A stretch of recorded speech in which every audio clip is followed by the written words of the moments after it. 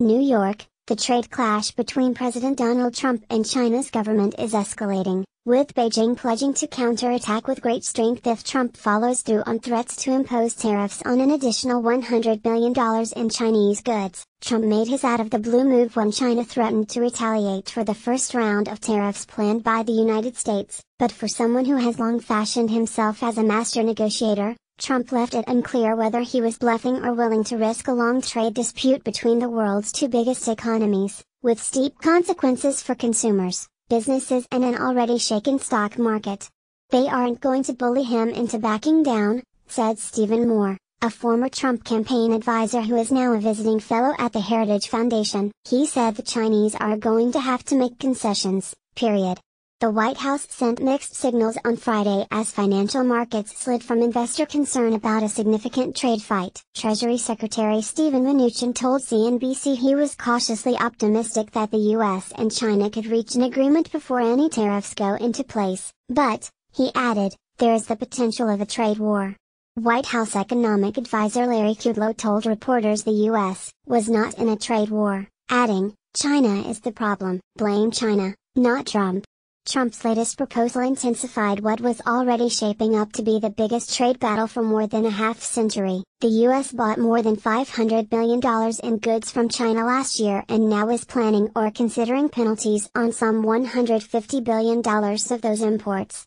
The U.S. sold about $130 billion in goods to China in 2017 and faces a potentially devastating hit to its market there if China responds in kind. Global financial markets have fallen sharply as the world's two biggest economies squared off. The Dow Jones Industrial Average sank 572 points Friday. Trump told advisors Thursday he was unhappy with China's decision to tax $50 billion in American products, including soybeans and small aircraft, in response to a U.S. move this week to impose tariffs on $50 billion in Chinese goods.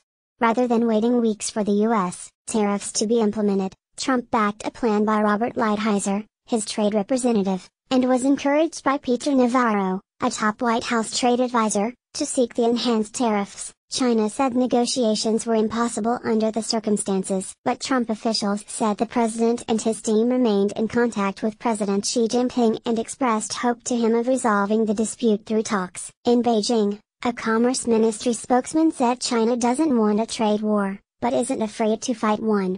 If the U.S. side announces the list of products for $100 billion in tariffs, the Chinese side has fully prepared and will without hesitation counterattack with great strength, spokesman Gao Feng said. He gave no indication what measures Beijing might take.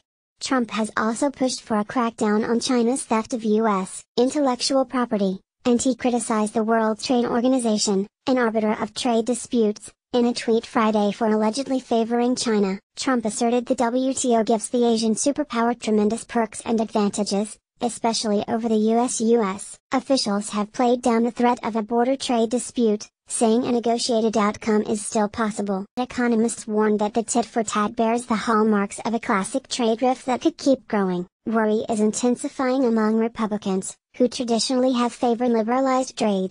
The administration needs to be thinking about the unintended consequences and what are those ripple effects, those domino effects, and what are the retaliatory actions that are likely to be taken, said South Dakota Sen. John Thune, the Senate's number 3 Republican, in an interview with KDLT TV in Sioux Falls.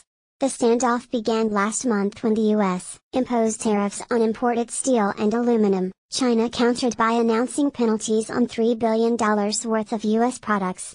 The next day, the United States proposed the $50 billion in duties on Chinese imports. Beijing responded within hours with a threat of further tariffs of its own. Further escalation could be in the offing. The U.S. Treasury is working on plans to restrict Chinese technology investments in the United States. And there's talk that the US could also put limits on visas for Chinese who want to visit or study in this country. Kudlow told reporters the US may provide a list of suggestions to China as to what we would like to have come out of this, and those issues were under discussion. Negotiations are better than tariffs, Kudlow said. A solution in the next three months would be better than anything. I think that's eminently doable.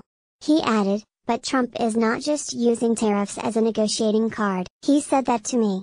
For Trump, the dispute runs the risk of blending the economic benefits of his tax overhaul, which is at the center of congressional Republicans' case for voters to keep them in power in the 2018 elections. China's retaliation so far has targeted Midwest farmers, including growers of soybeans, corn and wheat, that could specifically harm core Trump supporters. With respect to the Trump administration, its political success will rise and fall with the economy, Cuomo said, and the economy is doing rather well now and I expect it to do even better.